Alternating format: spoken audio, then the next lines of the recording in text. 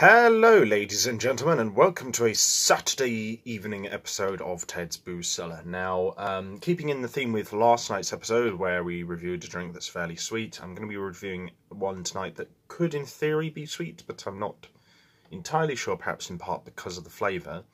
Uh, now, I know I've been doing quite a lot of sweet sort of alcoholic drinks recently, um, and I'm going to be doing probably another one tomorrow, but, um, oh, and like I might not do as regular a um, schedule of episodes over Christmas um, and um, New Year's, but I I'll um, I'll see to try and getting to do some and maybe do some more contemporary drinks that aren't as sweet as the ones I've been reviewing recently. But without further ado, tonight we're going to be taking a look at one of our old friends, Rekorderlig, and their um, premium botanicals range.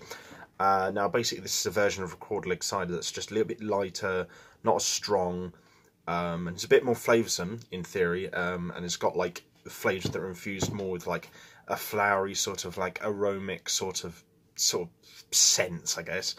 Um, we've tried, uh, I think it was their berries and nettle sort of one before. Now this one is rhubarb, lemon and mint. Uh, pear cider blended with rhubarb, lemon and infused with a hint of mint made from pure Swedish spring water. Spring water. It is gluten free and it is vegan, so there's that. Um, it's only four percent alcohol the volume, and it's a pretty simple drink. Again, like the berries and nettle one, there's not much to say about the bottle or the description. It's pretty sort of standard, really. So yeah, um, let's see what it smells like. I'm hoping it smells nice and fragrant.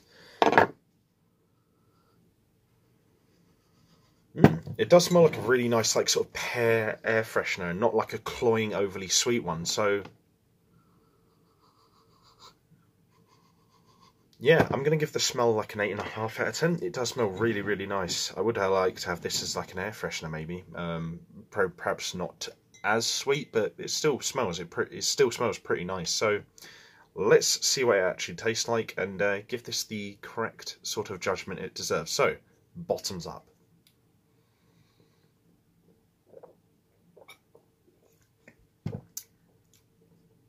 Mm.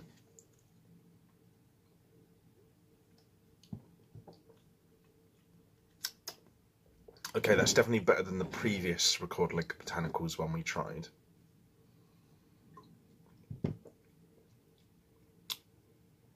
It's actually probably slightly sweeter, in fact, than the last one, than the last Record Rekorderlig Botanical one we reviewed. But I feel like the flavour is a little bit more balanced and um, you can actually definitively taste a little bit of lemon, pear, rhubarb, and mint all in there. Um, so the flavour is really quite nicely balanced. Um, it's not too sweet, even though it is fairly sweet compared to the previous Rekorderlig Botanical we reviewed. Um, it's got a tiny bit of sharpness. I probably wish it was a tiny bit more sharp, but the flavour is very nicely balanced, so perhaps I wouldn't want to spoil it too much. I would say I probably couldn't imagine myself having a few of these in a row, probably only one or two at a time, maybe with a meal. So this is probably a good meal drink. Probably to have good to have a couple with with a mate over a chat. And that's it. I mean, it's not very.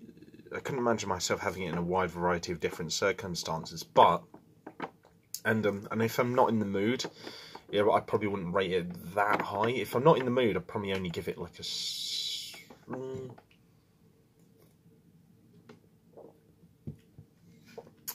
If I'm not in the mood, I'll probably only give it in a 6.5. But if I am in the mood, I'll probably give it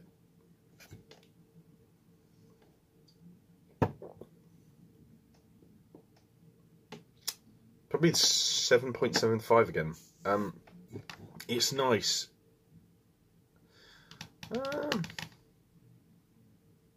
yeah, it's nice, but I just feel like it could be a little less sweet. Um, if it wasn't as sweet as it as it is, or um, or it was perhaps like had a tiny bit of that sharp rhubarb flavour in it, which I feel is really missing. That's probably the weakest aspect of it.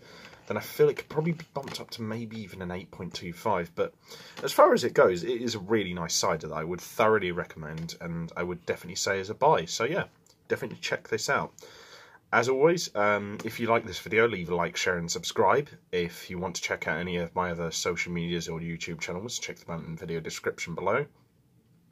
Leave any possible suggestions for future videos in the comment section below. And as always, stay safe, have fun, drink responsibly, know your limits, and I'll see you guys at the bar next time on Ted's Booze Cellar. Bye bye for now.